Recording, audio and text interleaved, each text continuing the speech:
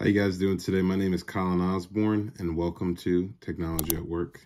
And in this video, we're going to be talking about how to automate your small business.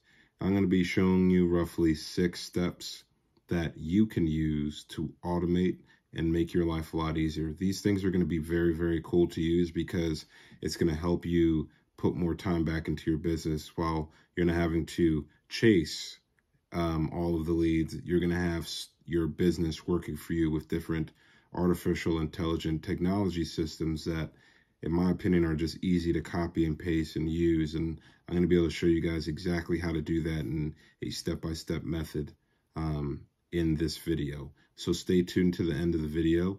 And i'm going to be also providing you guys with a snapshot to show you exactly how these things are done. So make sure you guys stay tuned to the end of the video. Also like like comment and subscribe. Really would appreciate that if you really like the video and are very informative.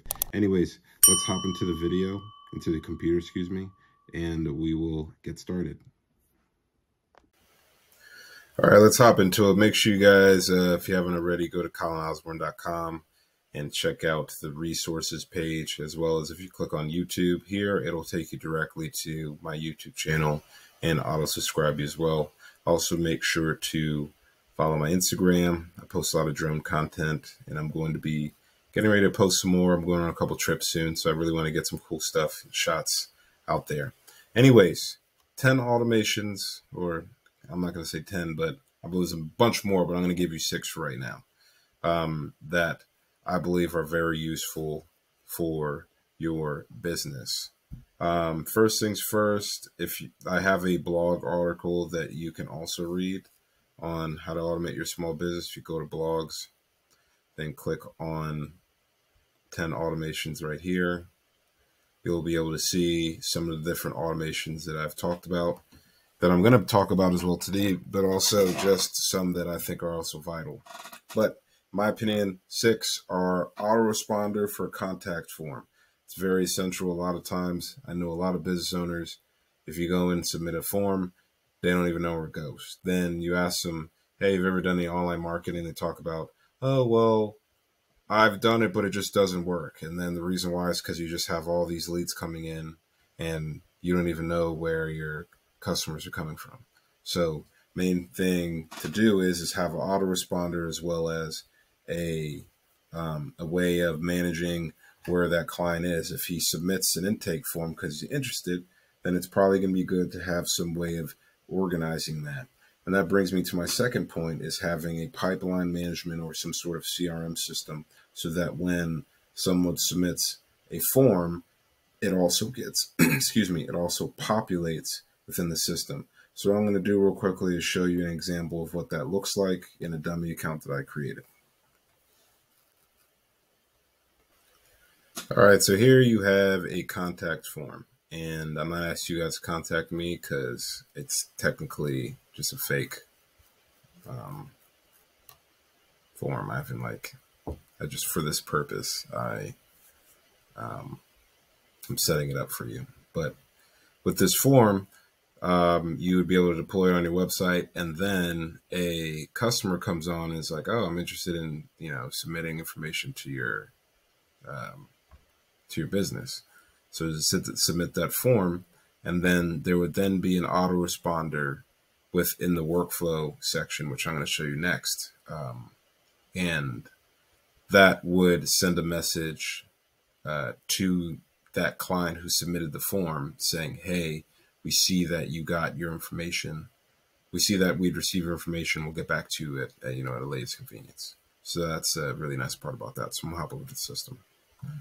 So if you see right here, you can see all the different inquiries that um, come out for a specific lead. And that's just people who submit into the form or whether it's a chat widget, which can be deployed on from this particular um, database. Um, and those are, and really and truly, I look at the interested section or inquiry as like the main form of contact, the first form of contact. So that would obviously go in the first pipeline stage. And then different opportunity or pipeline stages that you can look at would be onboarding and then product bought or sold or you know contract signed and that's actually moving on to my next automation, which would be automatic contract sending. Uh, so there's different ways you can do that within the system. There's a way where you can build out a form, so, sort of just like this, and you'd be able to have a signature at the bottom, and you could essentially use that as a contract. It doesn't necessarily look super pretty unless you had someone go in and code it, but um, it is kind of nice, and I'll show you what that looks like. Um, go to sites.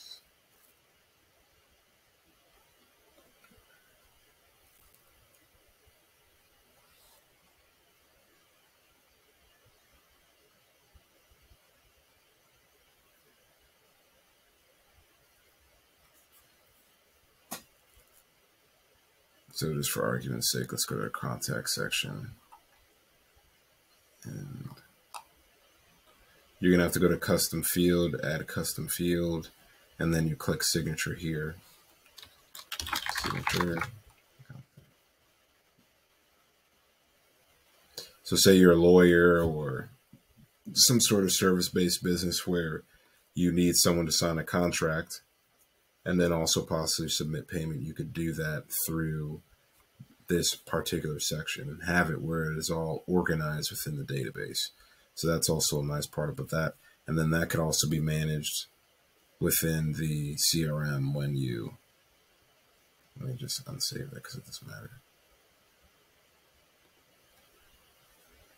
That could be added into the CRM within the database. Let's just go to Henry Gross for a second. I hope he doesn't have any. Okay, change that information because I don't want you to see that. I'll just block that out. Um, but if they had signed a contract, you'd be able to see that information in here with the actual um, database information. Another part about that is being able to track where all of where your customers are going within the site. Uh, building this Italian website out, we added a wedding section to it and they wanted to rank for their wedding venue. So I was tasked with ranking the website on page one for wedding venues in Charlotte, North Carolina, wedding venues in Matthews, North Carolina, also ranking them on Google Maps. And I'm also going to be showing you guys an easy way to do that, as well as making sure that your NAP or name, address, phone numbers is correct at the bottom so that it uniformly matches with Google, so Google ranks your website up. Um, so we talked about autoresponder for contact form, and you'd honestly be able to do that in the automation section. Let me just go here. Let me see if there's one created for you guys. Okay. So with the contact form submission notification, we have it so that when someone submits the form, um, this and, and this section right here is called workflows. So think of workflows as like your automational toolkit or your, um, you know, I like to be kind of medieval, so I call it my uh, my weapons kit. As I talk about weaponizing your marketing, whenever I'm communicating with business owners, that's really honestly what it's all about being able to automate, weaponize your marketing so that you can give more time back to yourself. Because at the end of the day, you're running a business not to necessarily just work like a dog. You know, you want to work being in a business, uh, you know, there's there's supposed to be some luxury to that. And I think that's the beautiful part about automation and technology is you don't have to have a very heavy um, or high uh, word for it? Um, operating expense and still produce large amounts of profits. So what we're going to also do is, is we're going to click on this plus button and do a send email because what I want to also have is when a customer, and I'm clicking on these codes, these autofill. So that's another nice part about this system is that you're able to essentially autofill a email which is connected from we use mailgun to integrate all of our systems and, and twilio for for text but for, for phone and, and email text. And we're able to use these codes to essentially autofill the name. So if someone submitted a form as Colin Osborne, and then, you know, my email, it would be Colin at colinosborne.com and phone numbers, whatever. I'm not going to give you guys a phone number out, but um, you would be able to put that information easily within the um, automation and be able to have a, let's just say, let's put for this automation uh, contact name. Thank you for submitting. Let's do thank you for submitting.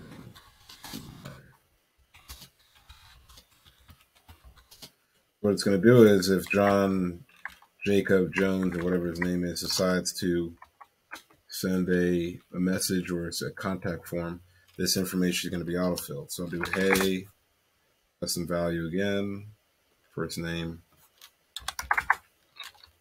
Thank you for submitting a contact form. Submission. Thank you for submitting our contact form. Please wait 24 hours. Let's see, please allow us 24 hours.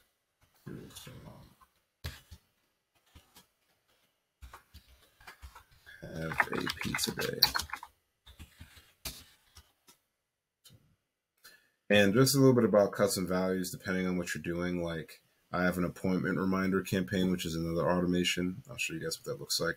But essentially, when someone um, books a call on my calendar for a consultation, I don't have to continuously remind them, hey, just make sure that you show up to the call at 2 next week. It's already doing it for me. You usually would have to have a secretary do that, but I have a 24, a 4, and a 2 hour reminder that goes out that also provides them with the ability to reschedule or cancel, which is nice because then I don't have to do it. It just saves you a ton of work of being like, oh, well, let me go on my calendar. Your calendar can be can be created exactly how you want it, and then they can go in and do everything they need to do to get a hold of you that way. And if you're that busy, if you're that type of of of, of goaded is what I call it. But anyway, so we have that. Just remember to put autoresponder.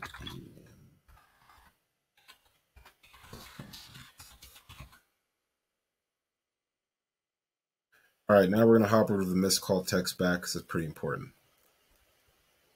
All right, so to get to the missed call text back, we're going to go to settings. And then you're going to be in business info. You scroll down to the bottom and you're going to see this little feature called enable missed call text back. So the first thing is you're going to need to have a Twilio number or in a, or actually HighLevel now has it where they have their own phone system, LeadConnector phone system, which is cheaper than Twilio. So I actually recommend just going with one of those platforms. It's actually a lot better. But um, once you've integrated that, it's literally a, a, a click of a button. I think I don't know if if I've switched them onto it yet. It's still on Twilio right now, but I'll eventually switch them over to um, to uh, to a LeadConnector. So you click this button. Hi, this is, and we just put Mario's just because we don't need to. And location name would be if like you have a bunch of locations and you kind of want to have an autofill. That's the only way. We'll just do hi. This is Mario's Italian restaurant. So that we just missed your call. How can I help? Awesome. And then we have, so save this. So what happens with this thing is the number that was given to Mario's Italian restaurant. If someone calls that number and they don't pick up, then it's going to automatically text back that customer saying, Hey, sorry, Mr. Call. How can I respond back to you? And the nice part about that is you've now at least connected that line of communication rather than him calling and then, or him or her calling and then not picking up the phone. You're not picking up the phone and him being like, well, I guess I'm going to go to the next Google search and which they could still do anyways, but at least you have some form of communication. You've reached out to him. And that information also will be connected within the conversation tab um, of your system. So you're able to communicate with these customers uh, via the conversations tab. And the nice part about it too is all of your, you can integrate all of your platforms. So email, text, Facebook Messenger, Facebook page, Instagram, Instagram messaging, and then it, they just added TikTok as well. So it's really awesome. Um, next, I talked about the calendar booking. I'm going to speed through these because I don't want to be too long. I want to keep this to probably like 16 minutes. But the social planner. The nice part about the social planner is it allows you with the capability to, and I'll show you what my social planner looks like because they don't really post. And you could add Facebook, Instagram, Google My Business, LinkedIn, and Twitter. And they're about to add TikTok very, very soon. So we go to the bottom and you kind of see just the different types of links or and these are all scheduled out from you can schedule them out for a month. And I recommend every business owner taking an hour or two out of their day to just schedule all of their content out. And it really just takes some heavy planning. You got to think about, you know, what how you're going to, you know, how you plan to run your campaign. And that's also very important is understanding who you're marketing to and what your campaign is. Um, so just real quick to cover everything, we talked about autoresponder for contact form, missed call text back, calendar booking so that you have an autoresponder for your contact for when someone books your call, books a call on your calendar, excuse me, there's that reminder system so that you can set those things up. A social media content scheduler so you can schedule out all of your content in advance pictures, images, video, gifts, stuff like that. Messaging campaigns like a newsletter when someone when you go to a BNI event or a network meeting and someone's like, I thought your presentation was really cool. Like, can I get some more information? You're like, yeah, let me grab your, your information, put them in your CRM, add them to the newsletter uh, contact form. I mean, newsletter uh, campaign, and it gets them to be educated about your business. And I mean, it's very essential because a lot of people are like, well, I have a struggle um, selling my products and, and, and everything because people, you know, a lot of times um, are cheap, whatever the case is. But a lot of times they either don't see the value or they're not necessarily sure how your product is going to be useful to them. And a lot of times you got to tell them why they need it. Plumbers, if you got a newsletter that you educated them on, hey, this is what you should do if your if your sink starts leaking, or this is what you should do if um, you know your toilet overflows. Little things that like lets them remember that Osborne Plumbing told me that if this happens, this is what I should do. They're more than likely to call on you or call on me because I helped them and I gave them that little tidbit of information than calling someone else who didn't provide them with that education. So making sure that you have some form of a newsletter that is providing education for your clients are going to be very important. Anyways, guys, make sure you once again like, comment, and subscribe to technology at work. It'd be very helpful. I, I would love to get to 100 followers, excuse me, subscribers, people that I could potentially help um, scale their own businesses, agencies, and so on and so forth. You know, that's my main job as a, as a consultant, online business coach. Is I want to help business owners and entrepreneurs become the CEOs of their own business. Anyways, this is Colin Osborne with Technology at Work. I thank you for watching this video. Talk soon.